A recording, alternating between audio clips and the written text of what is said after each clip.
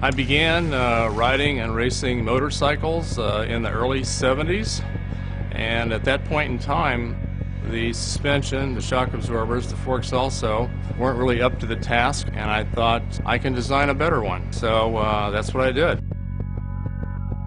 We consider ourselves a vehicle dynamics company, not just a shock absorber design company.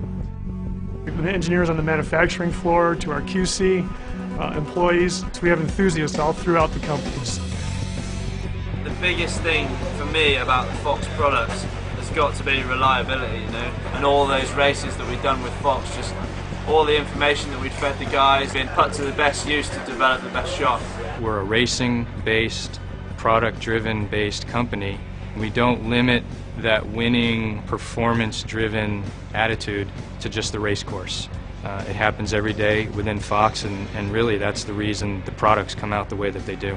Engineering, quality, perfection, that's always been the number one driver of the company.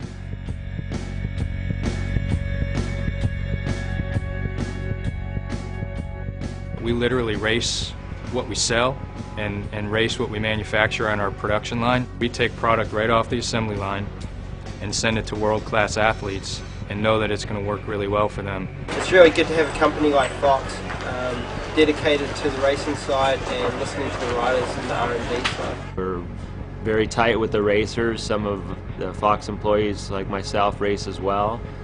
So we're constantly tweaking the product, trying to make it a little bit better.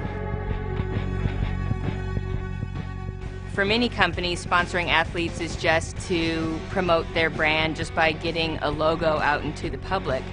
Whereas at Fox, we use our athletes to test our products.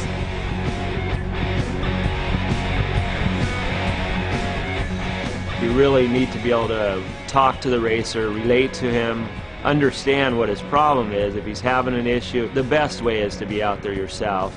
The suspension that we end up racing on helps us get to where we need to be, and that's winning races. Winning races was the key to success in this business. You got to have great performance. You got to enable people to win races. It's a really exciting place to work because every day is different and it's not an easy place to, to exist because good enough is not good enough and that's the mantra everywhere. It's a competitive world out there. It's a Darwinian world. Our goal is to make the best product the customer can buy. Uh, that's where we started.